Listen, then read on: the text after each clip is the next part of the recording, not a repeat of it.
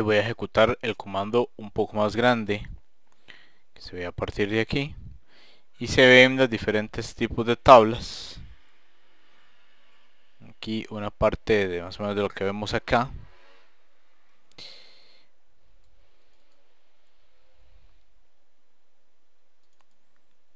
Más grande y bueno no me no me da los dos montos totales pero yo los puedo le puedo hacer sumas este para obtener una cosa como esta.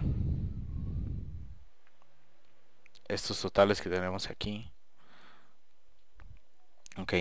Dice que, que una de las reglas eh, es que las bases de datos son en masivo cluster de 3 a 5 veces eh, el tamaño de las MyISAM quiere decir que si me topo estas tablas acá tengo que multiplicar el resultado final por 5 por 3 o por 5 digamos si quiero lo seguro sería por 5 entonces en este caso tendría que multiplicar 12.5 eh, por 5 y 14.4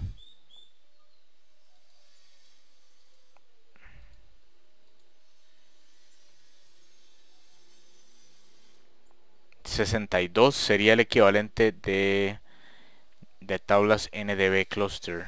Para el, para el, largo de los datos y para los índices sería sumarle a 62,5 el resultado de 14.4 por 5 me daría 72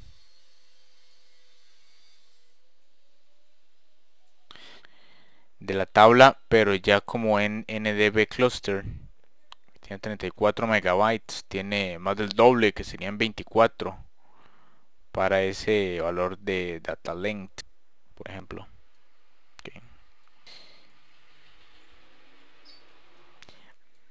Em, aquí hay otro comando que es ndb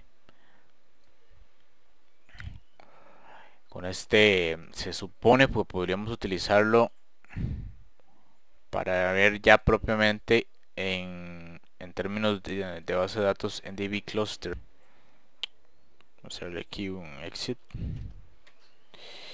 okay. Em,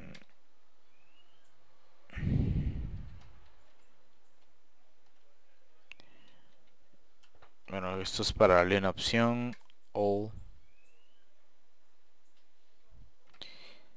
Aunque en realidad la forma sería ndb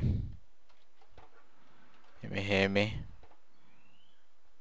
ok ya por entrar ahí, podríamos darle mm, all dump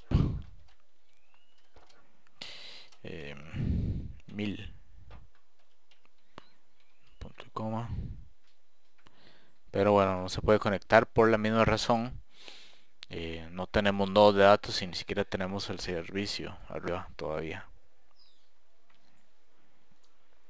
Sin embargo ahí creo que con solo haber hecho eso ya intenté conectarlos por lo menos establecer la comunicación con los nodos. Que vamos a salir de acá también y me debería dar em, estos datos que dice aquí bueno el equivalente a estos datos en eh, fechas eh, management server la información y los números de los nodos con su respectivo uso de datos. Por ejemplo aquí dice que está el 80% con páginas de 32k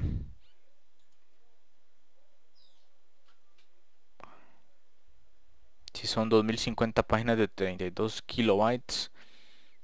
Un total de 2560 quiere decir que tendría más o menos 500 libres ahí. Em, y el el nodo 12 también tiene los mismos datos igual para datos y para índices. Y como dice aquí lo cual da un total de 64 megabytes de datos de memoria y 5.3 megabytes de index memory Ok. Em, eso sería, sería el, ese método también.